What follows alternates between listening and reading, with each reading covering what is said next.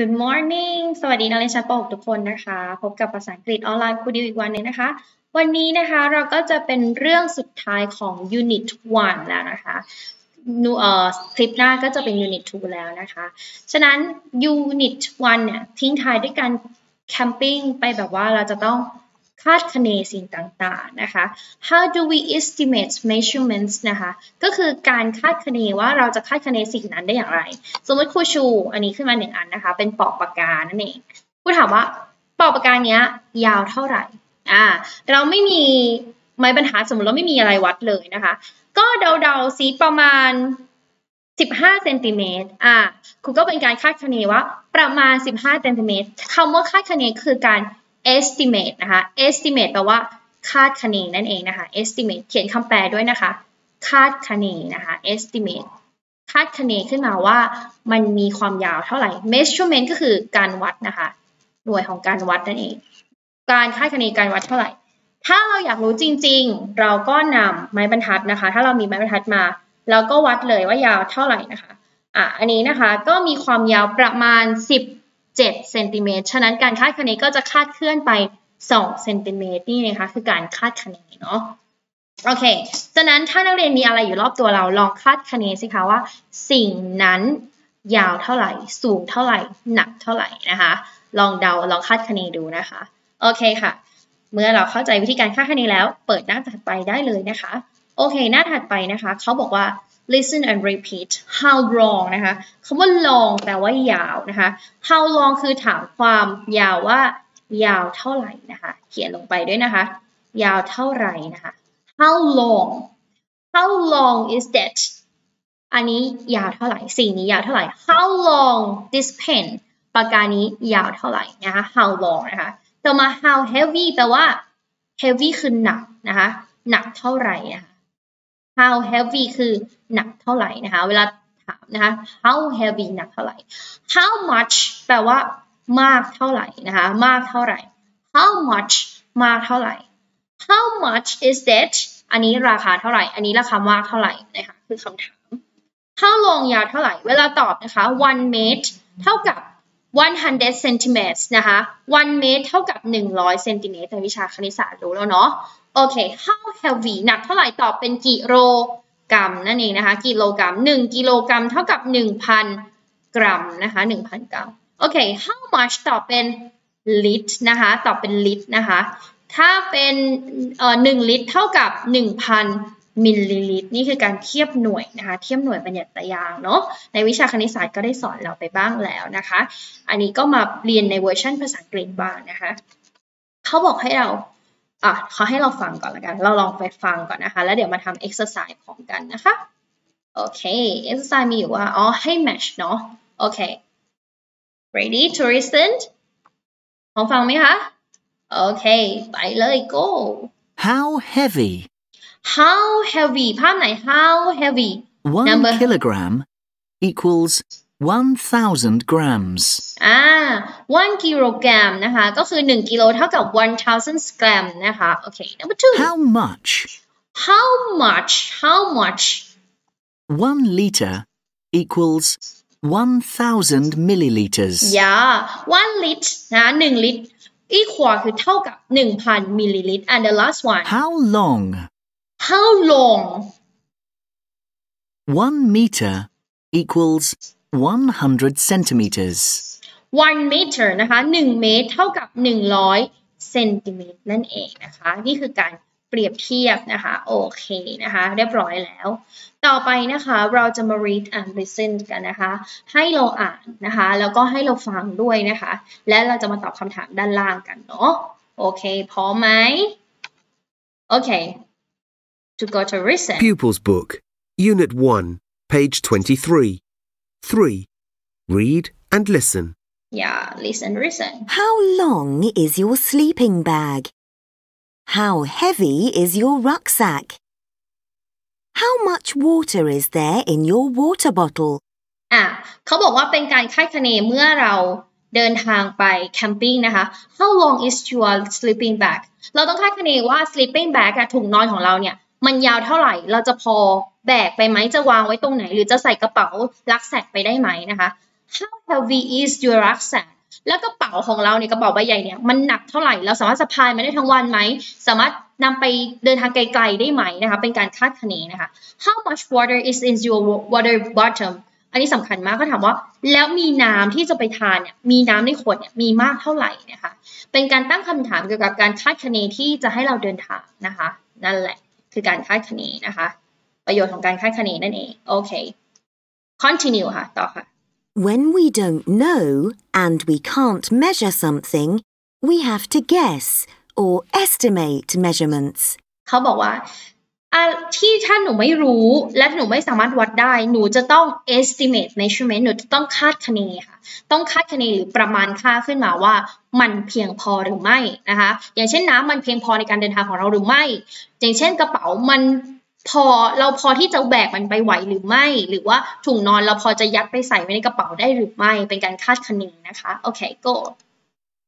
To help us estimate, we can think about other objects we know. For example, เขาก็ยกตัวอย่างค่ะ Alice knows her tent is 4 kilograms. yeah Her rucksack feels a bit heavier. อะเขาบอกการคาดคะเนง่ายคือการเปรียบเทียบกับสิ่งของที่เรารู้น้ำหนักอยู่แล้ว เช่นถ้าอลิสเนี่ยรู้ว่าเต็นท์ของตัวเองหนัก 4 กิโลกรัมนะคะ4 kilograms her rucksack นะคะกระเป๋าของเขา feel a bit heavier เราจะรู้เลยว่าอะไรหนักกว่ากัน อาจจะหนักกว่านิดนึงนะคะ เขาบอกว่ารักแสงเขาอันรู้สึกว่าหนักกว่าเต็นท์หนักกว่าเต็นท์4กิโลกรัมที่เขามีที่เขารู้นะคะ เขาเลยว่า Alice estimate that her rucksack is about 5 kilograms นะคะ Alice ก็เลยเดาว่า กระเป๋าของเขาหนักประมาณ 5 กิโลกรัม Alice estimates that her rucksack is about 5 kilograms. เนี่ยนะคะ ก็เป็นคาดคะเนจากสิ่งของที่เรารู้น้ำหนักอยู่แล้ว ว่ามันเบาหรือมันหนักกว่ากันนะคะ ในสิ่งที่เราจะคาดคะเน โอเค go When we're estimating, we use words like it's about about or or it's more than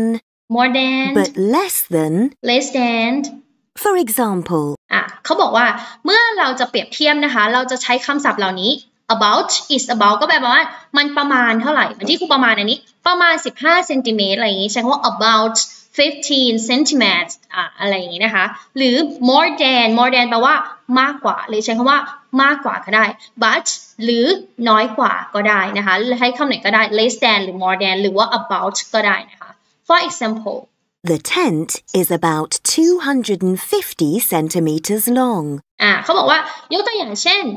the tent is about 250 centimeters long แปลว่าเต็นท์นี้มีความยาว 250 เซนติเมตรประมาณใช้คำว่า about นะคะแปลว่าประมาณ 250เซนติเมตรแต่ว่าได้วัดจริงหรือยังยังไม่ได้วัดจริงแต่เป็นการประมาณนะคะประมาณ Or the tent is more than 2 meters long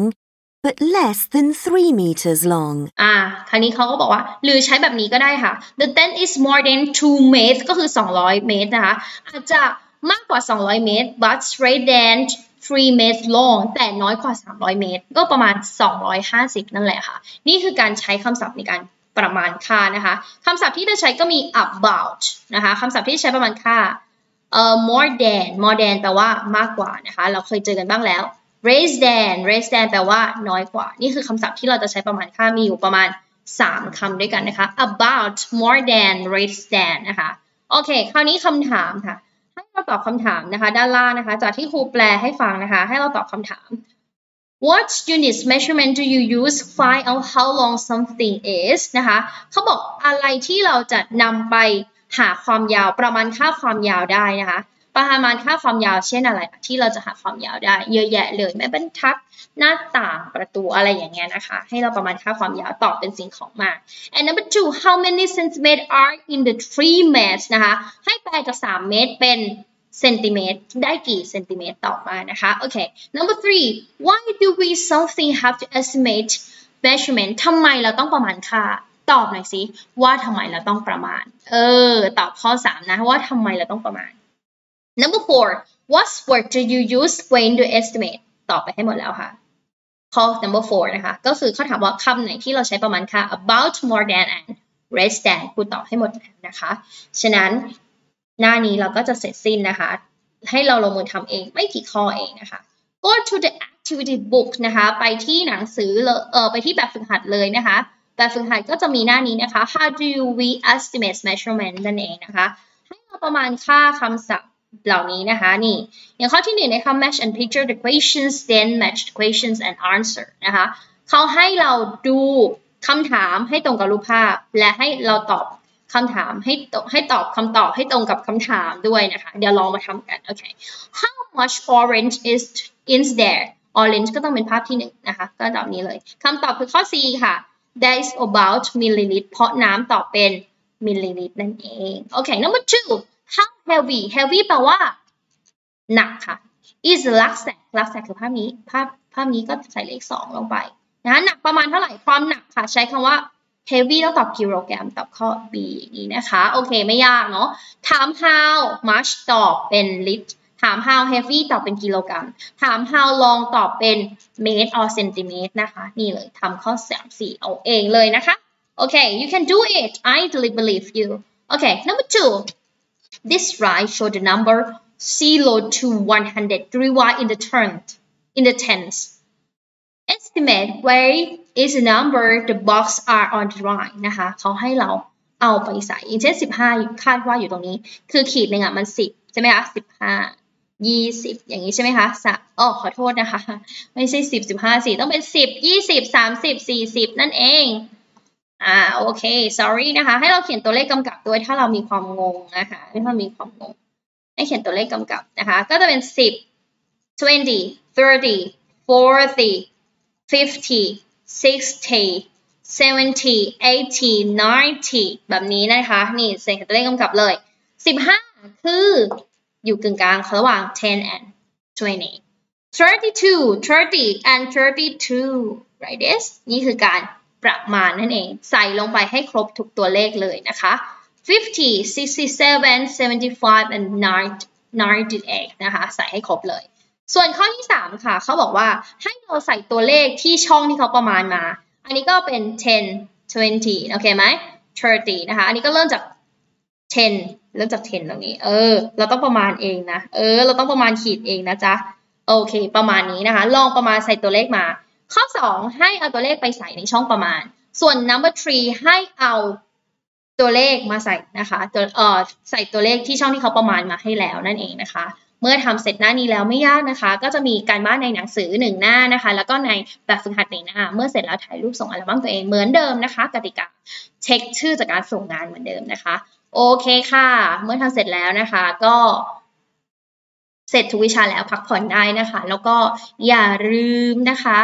วันพุธเราจะต้องมาเจอกันนะคะโอเค แล้วก็ส่งงานนะคะนำหนังสือมาด้วยแล้วเราก็จะส่งงานเช็คใบงานทุกวันนะคะ ใครที่ยังไม่มาหาครูมาด้วยนะคะ โอเค see you goodbye